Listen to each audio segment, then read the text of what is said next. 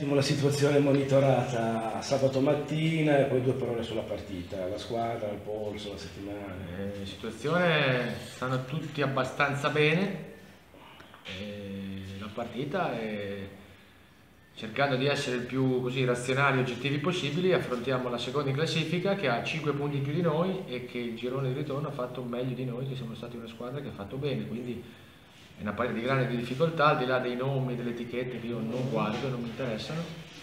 E noi stiamo facendo un percorso da, da, dal 15 novembre a questa parte, secondo me buono, e un altro ostacolo di quelli duri da, da superare che ci permette anche di vedere così il nostro grado di, di, di, di, a che punto siamo. Ecco, poi dopo il percorso terminerà il 6 maggio, eh, però domani è uno scoglio secondo me duro perché la realtà dice così.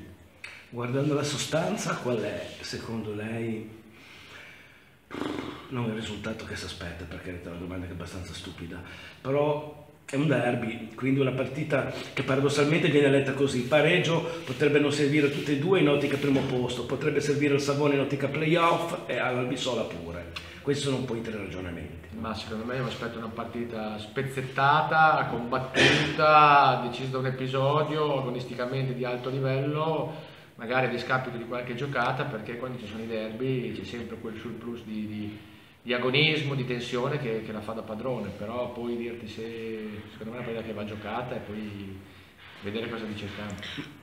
Dal punto di vista tattico come te l'aspetti l'Albissola? Perché ha cambiato più volte pelle durante la stagione, Savona questo 4-2-3-1 invece l'ha mantenuto per gran parte del girone di ritorno. Me li aspetto con una difesa sicuramente a 3 che diventeranno a 5 e me li aspetto che verranno qua per aspettarci, ripartire e cercare qualcosa sui piazzati dove sono molto forti. Ecco, mi aspetto che ci giocheranno, cercheranno di, di non farci giocare.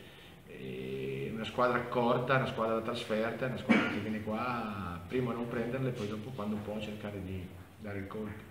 Ragionando per reparti si può dire che il lago della bilancia in attacco resta sempre l'impiego di Gomez, come, quando utilizzarlo, con che criterio, come sta soprattutto? Questo è più un discorso che, più che calcistico di, di, del dottore, nel senso che Alberto ha recuperato un po', non partirà sicuramente all'inizio, e ce l'avremo per 10, 15, 20 minuti, questo valutiamo perché purtroppo eh, non sta benissimo, insomma Gareggio non è stato impiegato perché per fortuna la partita consentiva di risparmiarlo ha fatto qualcosa questa settimana, però non partirà dall'inizio e cerchiamo di, di, di dosarlo più, per il più minutaggio possibile.